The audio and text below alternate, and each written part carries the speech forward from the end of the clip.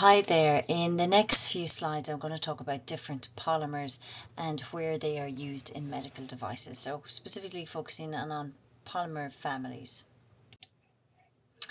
So the first type of polymers that I'm going to talk about are polyethylenes.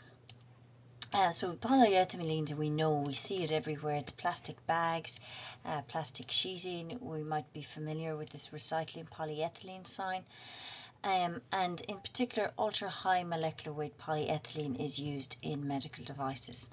So poly polyethylene itself is used for different implants, artificial tendons and ligaments, vascular grafts, uh, dentures and facial implants. It's very inert, it's very stable and is tolerated very well by the body. So it's probably one of the most common types of uh, polymers used in medical devices ultra high molecular weight polyethylene then as the name suggests uh, because of the, the high molecular weight it is even more stable. Um, it's got great wear resistance. It's used in finger joints dentures and of course um, acetabular cup linings in total hip replacement um, and the lining in knee replacements as well. So PVCs are the next type. We've mentioned them already in relation to catheters. Um, very much they're used for tubings, um, gastrointestinal segments, the flexibility, uh, heart, ear part. So, so components where you need some flexibility. And we know PVCs from, um, we can buy them off the shelf. Um, it's in clothing um, and different tubing that we are aware of. Um, epoxies are a different type of polymer. They're used in dentures, resins. Uh, they're a thermoset. Um, so they once set, uh, they cannot be remolded.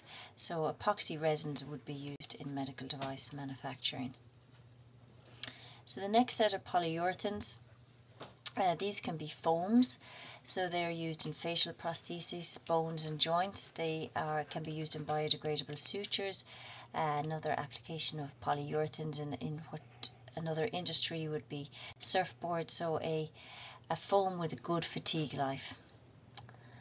So hydrogels are the next family of uh, medical devices and are um, they are a swellable polymer network. So they're prepared by cross-linking polymer chains by irradiation or chemical means and then the, uh, the, the chains swell with water.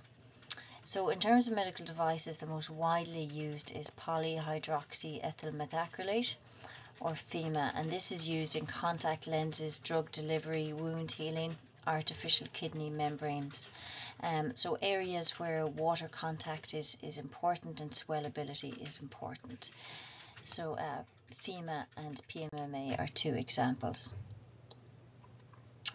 Uh, polypropylene, we came across this when we talked about hernia mesh repair um, and the, the picture I have here is of a knitted polypropylene.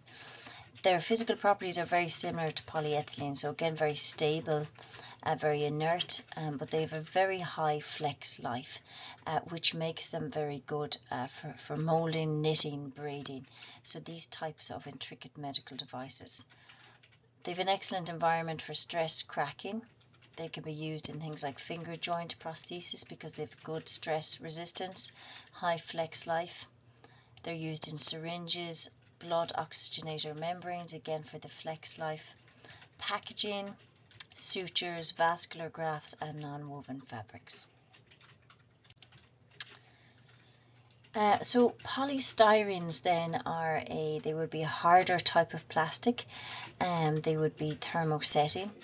Uh, usually you'd see them in labware, so these tissue culture plates, filter units, uh, more tissue cultures. That's where you'd see polystyrene in medical devices. Um, they're usually injection molded. There's three grades as a general purpose polystyrene, a high impact polystyrene, and a foam. Um, so as I said, filterware and tissue culture is where they're used, um, and the foams um, can be used in other medical devices. So pure polystyrene is hard and brittle and you can get a sense of that from where it's used. Um, but a type of polystyrene, acrylonitrile butadiene styrene copolymers or ABS, um, these are the, the hard uh, polymers that you would see Lego bricks made out of. So if you can imagine a Lego brick that's made out of ABS. Um, so it's very, very tough. Um, by changing the ratio of the monomer properties, it can be altered and it can be made to be very tough. So it's used a lot in IV sets, blood dialysis, and some diagnostic kits.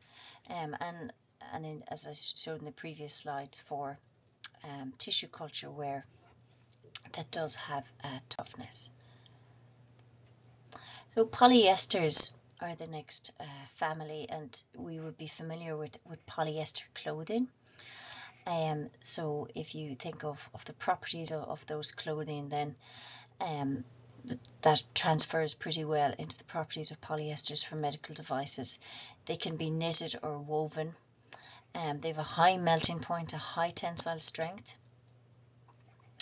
Um, there are some trade named uh, polyesters on the market. So Dacron is a trade name and it's used in vascular grafts. So great flexibility. It can be woven um, and very well tolerated by the body. So it's also used in suture. It would be a big suture material, catheter housings, heart valves, meshes, and ligament reconstruction. Um, they're hydrophobic, um, so um, are good for um, deterring proteins and can be molded. Uh, so polyurethanes are the next class.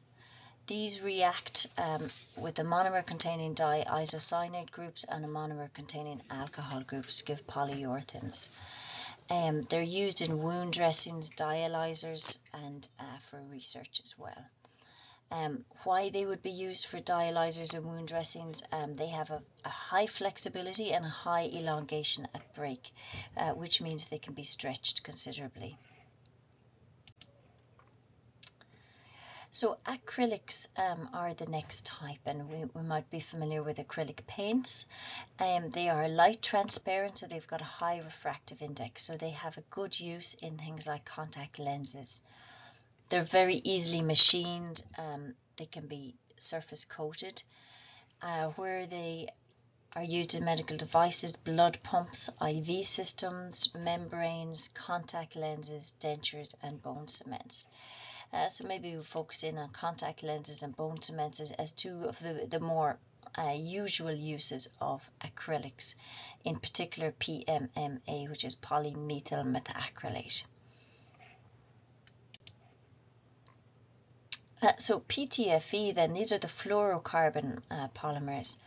PTFE, we saw this coming up in hernia repair earlier um, due to its uh, flexibility it's linear, it's highly crystalline, uh, which means it has good mechanical properties.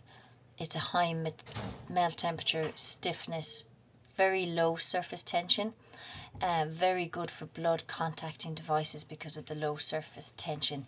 So it is usually used in vascular grafts. Uh, and the trade name of one of these fluorocarbons is Teflon, which is what is used to coat pans. Uh, it gives us this non-stick surface. So it's the same materials that are used in vascular grafts to stop blood sticking to the vascular graft and therefore stop uh, thrombus formation. Uh, they can be injected, molded easily and melt extruded because they're thermoplastic polymers. So nylons or polyamides are the next type, uh, nylon being a, a trade name. Um, they are, we, we know of their use in, in women's tights, in ropes, um, things that have uh, good strength. There's a very strong bond uh, between the, the monomers, um, so they have a, they're very high strength, high melt temperature, good modulus, and therefore one of their, their major uses is in surgical sutures. They can also be used in gastrointestinal segments and tracheal tubes because of their flexibility and strength. Uh, polycarbonates are a very hard type of um, polymer. They're clear, they're tough, they're used in labware like eyeglasses, safety glasses, housing for oxygenators and heart-lung bypass machines. Um, and you can copolymer them with polyurethane uh, to create a more stable material. So I'm nearing the end. The uh, PDMS are polydimethyl siloxanes or silicon rubber. Um, so I have a picture here of some bakeware that's made out of silicon. Um, they have very poor mechanical strength, uh, but great flexibility and uh, moldability. So they're less temperature sensitive than other rubbers. Um, you can have reinforced silicon, which is silica. Uh, again, very flexible. They're used in finger joints, heart valves, breast implants is their major use. Um, all reconstructive surgery um, uses really. Um, starting to have a surgeons in catheters at the moment, draining tubes, insulation of pacemaker leads where maybe a ceramic may not be used, as silicon will do a good insulation job, and membrane oxygenators as well. Okay, so that completes the section on different polymers and their uses for medical devices. Thank you.